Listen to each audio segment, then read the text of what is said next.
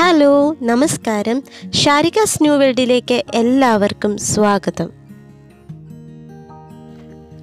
ഇന്ന് നമ്മൾ ചെയ്യാൻ പോകുന്നത് ഒരു നോൺ വെജ് റെസിപ്പിയാണ് പോർക്ക് റോസ്റ്റ് ചട്ടിയിലേക്ക് വെളിച്ചെണ്ണ ഒഴിച്ചു കൊടുക്കാം. വെളിച്ചെണ്ണ തന്നെ ഉപയോഗിക്കാൻ ശ്രദ്ധിക്കണം.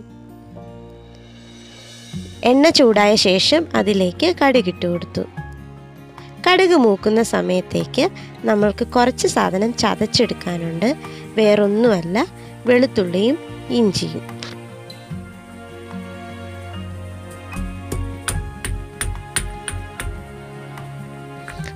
കടുക് നന്നായിട്ട് പൊട്ടി വന്നിട്ടുണ്ട്. ഈ സമയം നമ്മൾ എടുത്തു വെച്ചിരിക്കുന്ന ഇഞ്ചിയും വെളുത്തുള്ളിയും ചതച്ചത് ഇട്ട് കൊടുക്കുക.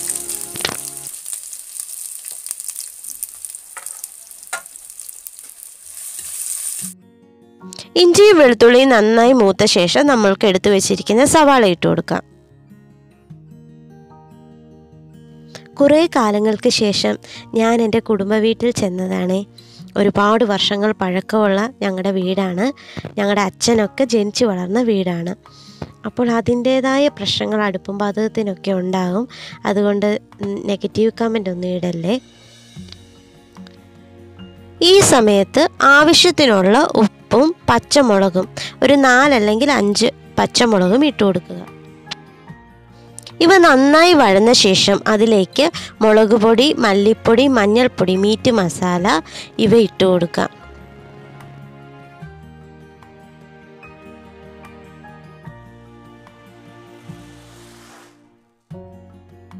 അടുപ്പിൽ നമ്മൾ കറി വെക്കുമ്പോൾ ഈ പൊടിയൊക്കെ ഇടുന്ന സമയത്ത് പ്രത്യേകം ശ്രദ്ധിക്കണം. കാരണം തീ കൂടുതലാണെങ്കിൽ ചട്ടിയുടെ അടിഭാഗത്തൊക്കെ പെട്ടെന്ന് പിടിക്കും. പൊടി കരിഞ്ഞു പോയാൽ കറിയുടെ രുചി തന്നെ മാറിപ്പോകും. ഇത് കുക്കറിൽ വേവിച്ചെടുത്ത മീറ്റാണ്. ഇതിൽ ഉപ്പ് മഞ്ഞൾപ്പൊടി മീറ്റ് മസാല ഇഞ്ചി വെളുത്തുള്ളി ചതച്ചത്. ഇത്രയിട്ട് നാല് വിസിൽ വരുന്നത് വരെ വേവിച്ച് എടുത്ത മീറ്റാണ്. ഈ അരപ്പിലേക്ക് നമുക്ക് മീറ്റ് ഇട്ട് കൊടുക്കാം. നന്നായിട്ട് ഇളക്കി കൊടുക്കുക.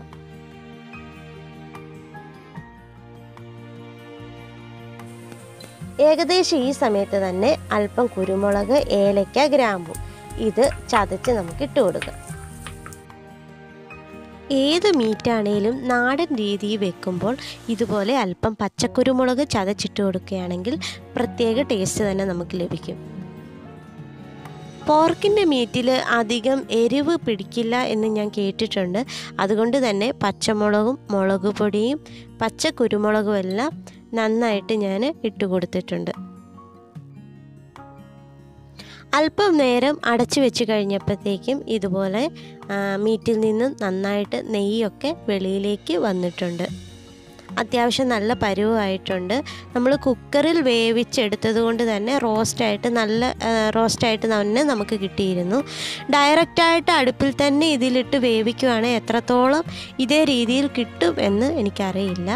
അപ്പോൾ നമ്മൾക്ക് കുറച്ച് നേരവും കൂടി വേവിച്ചെടുക്കേണ്ടതായിട്ടുണ്ട്.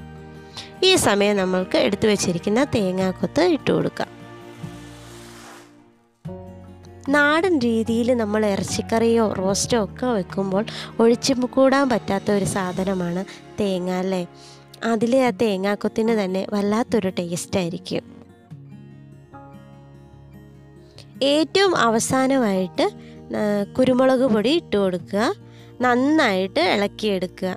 നമ്മുടെ റോസ്റ്റ് ഇവിടെ റെഡി ആയിട്ടുണ്ട്. കഴിക്കാൻ പാകമായിട്ടുണ്ട്.